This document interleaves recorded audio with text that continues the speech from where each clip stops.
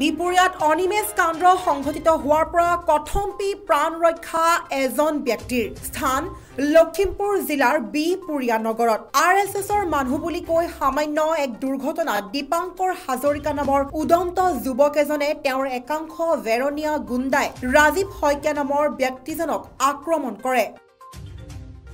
যাৰ বাবে ৰাজীৱ শইকীয়া নামৰ ব্যক্তিজন গুৰুতৰভাৱে আঘাতপ্ৰাপ্ত হয়। ৰাজীৱ শইকীয়াৰ বৰ্তমান অৱস্থা কিছু সুস্থ।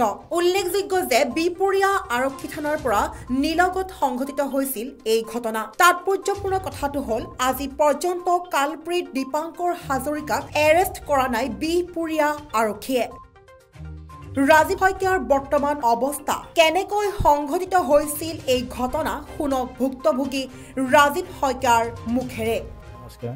আপোনালোক যে আজি এই ভুক্তভোগীৰ কাষত আহি উপস্থিত হ'লি তাৰ বাবে ধন্যবাদ। আজিকালি আপোনাৰ এনেকুৱা এটা কণ্ডিশ্যন হৈ আছে ইয়াত মানে মানুহে মানুহ ওলাই আহিব নোৱাৰা হৈছে। চাকৰিৰ পৰাও মই আহিব নোৱাৰা অৱস্থা হৈ গ'ল। আপ- সেইদিনা যোৱা বুধবাৰ পোন্ধৰ ডিচেম্বৰ আছিল। মই মোৰ ডিউটিৰ পৰা আহি আছিলোঁ। আপোনাৰ এখন স্কুটি লৈ।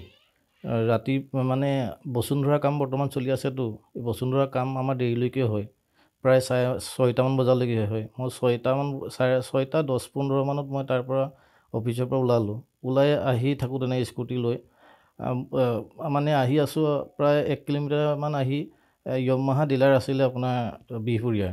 য়মাহা ডিলাৰৰ পৰা ক'লাৰ স্কৰ্পিঅ' এখন বেক কৰি এনেকৈ মোৰ সন্মুখত ওলাই দিলে তেতিয়া মইতো অপ্ৰস্তুত হৈ পেলাই পিছফালে খুন্দা লাগি গ'ল খুন্দা লাগি গৈ মই পৰি গ'লোঁ পৰি গৈ মোৰ এই চেল চেলনি খাইছে দুটা আঁঠুত মই ওচৰতে এনেকৈ পৰি গ'লোঁ তাৰপিছত মই উঠিব লওঁতেনি এই দীপাংকৰ হাজৰিকা বুলি যিজন আছে সেইজনে ওলাই আহি মোক এক ঘোচা মাৰি দিছে প্ৰথমে ঘোচা মাৰি দিছে মই কৈছোঁ দাদা কিয় মাৰিছে মোক এনেকৈ তাৰপিছত কৈছে তই চিনি পাইছ নাই মই আৰ এছ এছৰ লিডাৰ জান নাই? মই ফো- মোবাইলটো লৈ এনেকৈ ফোন কৰিব লওঁতে তই ফোন কৰি লাভ নাই পুলিচক ফোন কৰি লাভ নাই মই আৰ এছ এছৰ লিডাৰ এম এল এক কেতিয়া মই ফোন কৰিব পাৰোঁ? মই কৈছোঁ দাদা ৰ'বচোন ৰ'ব মই কিবা যদি হেৰি কৰিছোঁ হেৰি কৰি ঐ তহঁত ওলাই আহ বুলি চাৰি পাঁচটাক মাতিছে এটাই আহি মোক গুৰ মাৰি দিছে। গুৰ মাৰি দিলে মই তলত পৰি গ'লোঁ। তাৰপিছত মোক সি ইয়াতে গচকি দিছে জোতা পিন্ধি আছিলে গচকি দিছে। মই কৈছোঁ দাদা ৰ'বচোন এইবোৰ নকৰিব মইতো ইয়াৰে ল'ৰা মইতো ইয়াৰে ল'ৰা। তাৰপিছত তেনেকৈ কৈছোঁ। মই কৈছোঁ কোনোবা আছোঁ নেকি? কোনোবা আছে? নেকি? তেনেকৈ কওঁতেনে মোৰ লগৰজন আহি পাইছেহি লগৰজন লগৰজনে আহি পেলাই কৈছে মোকে মাৰ ইয়াক নামাৰিবি। কেলৈ ইয়াক মাৰিছ? ই কি কৰিলে? তেতিয়া তেনেকৈ কৈছে তেতিয়া সিহঁতে তাকো মাৰিছে।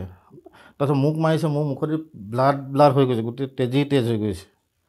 তেজ যেতিয়া হৈ গৈছে তেজটো তাৰপিছত মই কৈছোঁ ৰ'বচোন ৰ'ব কিয় মাৰিছে? মই দেখোন মোৰ এতিয়াতো মই মৰি থাকিম দেখোন। এনেকৈ মাৰিলে। তাৰপিছত তেতিয়া কৈছে নাই তই মৰি মৰিবই লাগিব। তই কি কেলৈ এইখনত খুন্দাত এনেকৈ এনেকুৱা তই কেলৈ কৰিলি? তই মদ খাই আহিছ তই হেৰি কৰি মই কৈছোঁ মোক মোক কি মদ খাই আহিছোঁ মই? আপোনাক আপোনালোকে কিয় মোক এনেকৈ কৰিছে নহয় তই মৰিবই লাগিব তই মৰিবই লাগিব। মই কৈছোঁ দাদা শুনকচোন ৰ'ব মই ঘৰত ফোন কৰি ল'ব দিয়ক কিবা যদি হেৰি হৈছে তেনেকৈ বুলি কৈছে। মই আৰ এছ এছৰ লিডাৰটো জানন নাই। মই কি কৰিব পাৰোঁ মোৰ কিমানলৈকে হাত আছে জানন নাই। তোক এতিয়া মই তই কি পুলিচক ফোন কৰোঁ। কাৰোবাক ফোন কৰি মোবাইল কাঢ়ি ল মোবাইলটো কাঢ়ি লৈছে। স্কুটি চাবি চাবিটো সিহঁতেতো চব জব্দ কৰি ল'লে। তাৰপিছত বাসু বাসুদা আহি পেলাই বাসুদাই কৈছে তই ৰ তাৰপিছত সি ফোন কৰিছে। ফোন কৰাৰ পিছত সত্য বুলি সত্য আৰু এনেকৈ লগৰ গোটেই সোপা আহি পেলাই সিহঁতে পোৱাত মোক হেৰি মইতো যিহেতুকে বিহপুৰীয়া বিহপুৰীয়া মণ্ডল প্ৰথমে চাগে গম পোৱা নাছিল তেওঁলোক। পিছত বাসুদাক দেখি গম পালে। গম পাই পেলাই কি কৰিলে? এখন ব্লেংক কাগজত আনি পেলাই মোক চহী কৰাই লৈছে। তাত কি লিখা আছে কি নাই লিখা মই একো নাজানো। সেই সন্দৰ্ভলৈ কি কৰিছে এতিয়া পুলিচৰ লগত? তেওঁতো বহুত আৰ এছ এছৰ লগত হাত কি কৰি আছে সেইটো নাজানো আৰু। এখন ব্লেংক কাগজত মাত্ৰ চহী কৰাই লৈছে। চহী কৰাই পেলাই এতিয়া কি কৰিব বিচাৰিছে সেইটো মই নাজানো। তাৰপিছত আপোনাৰ ভৰি বিষ এনেকুৱা কণ্ডিশ্যন।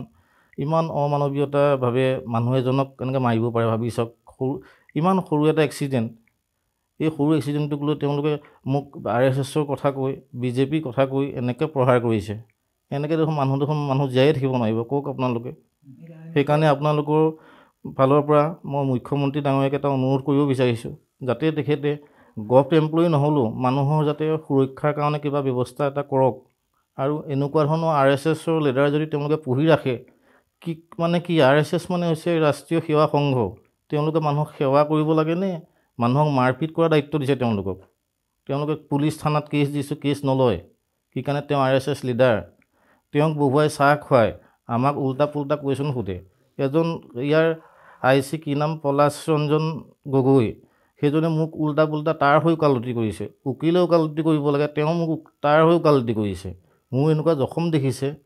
তেওঁ কিন্তু মোক কুৱেশ্যন কৰিছে যে কেইটা ছটা নে আঠটা বাজিছিলে নে আপোনাৰ নটা বাজিছিলে নে এঘাৰটা বাজিছিলে?